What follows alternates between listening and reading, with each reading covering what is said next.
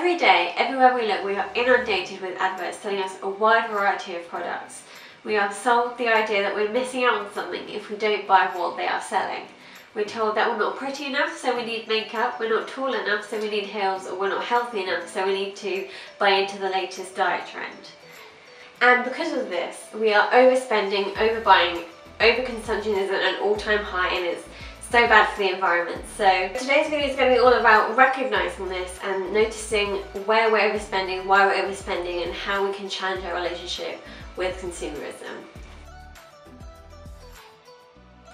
Now I'm not suggesting that we don't buy anything ever again, ever. That's obviously not practical and we do need to buy things but it's all about recognizing why we're buying something, what what the reason is behind it. Is it because we feel like we're not enough or because we need it?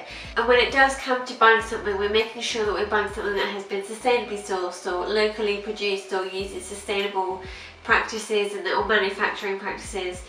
And the ingredients or the materials used in the product are environmentally friendly and the best option for the environment. But ultimately, I think it comes down to just buying something that you know you definitely need, something that will last a long time and is not going to break or need to be repaired or replaced.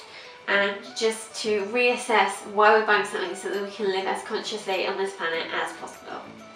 Another thing to note which also causes overconsumption is to look out for hidden charges. So when you're buy one item which requires you to buy another one or buy something else along with it that has to go with it. So look out for things such as hidden charges. And the other thing is to try not to give into any trends. I mean, the items that they're selling are going to last longer than the, the trend is anyway, so then you'll end up with something that you don't necessarily want or need after the phase is over. But I think if you are struggling with your spending habits then maybe try and give yourself a challenge such as like not buying anything for 30 days and then seeing if you still want to buy the thing at the end of the 30 days is over. That can really challenge you and stop you from buying so much of things that you don't need because you're putting a limit on yourself and I think that might be a very helpful thing for you if you are struggling with just buying loads of stuff that you don't necessarily need.